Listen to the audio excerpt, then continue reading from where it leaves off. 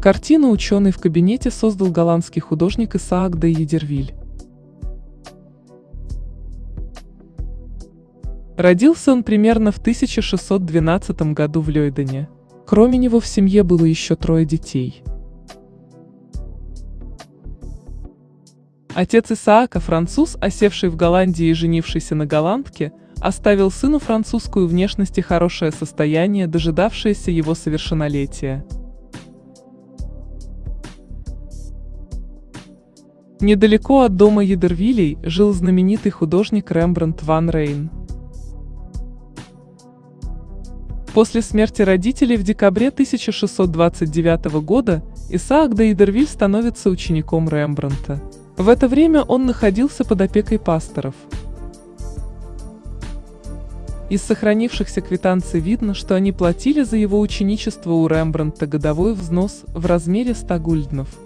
Едервиль становится одним из первых учеников великого мастера. 1630-е годы Исаак де Идервиль изучал философию в Лейденском университете.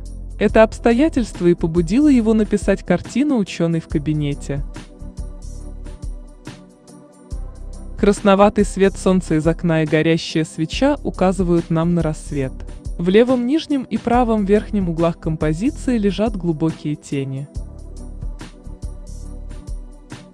Главный герой засиделся над книгой до раннего утра. Его поза и устремленный вдаль взгляд говорят о глубокой задумчивости.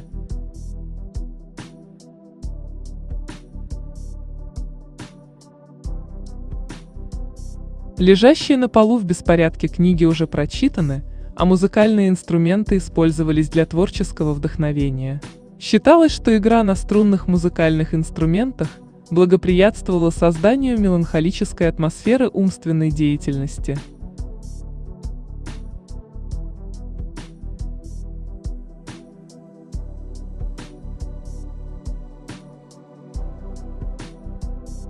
В то же время представленные здесь предметы, книги, ноты, лютня и скрипка имеют скрытый смысл и символизируют идею бренности всего земного.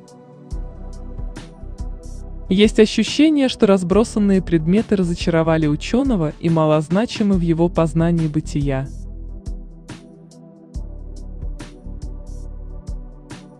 Даже висящая на стене шпага давно забыта, что говорит об отказе мужчины от активного существования и желании заниматься только интеллектуальной деятельностью.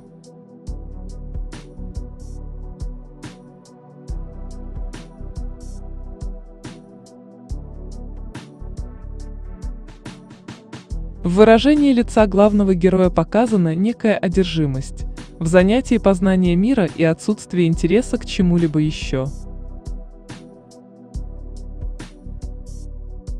Автор сделал акцент на двух объектах, представленных на втором плане – круге на стене, состоящем из двух концентрических окружностей, и шаре, свисающем над головой ученого и проецирующимся на центр круга.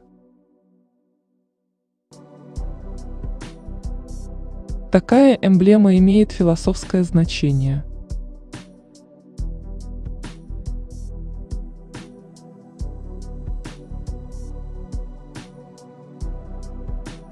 В труде швейцарского мыслителя Теодора Беза она описывалась так.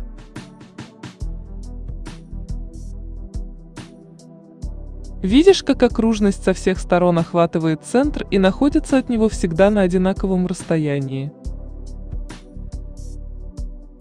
Она показывает, что небо окружает нас со всех сторон. Пункт, который занимает центр, изображает Землю. Куда бы ты ни пошел, до неба будет везде одинаково далеко.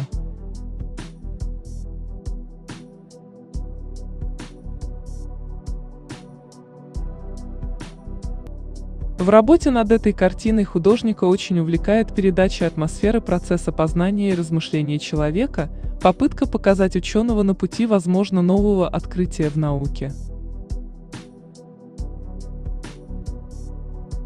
Размер этой картины 53 на 71 сантиметр.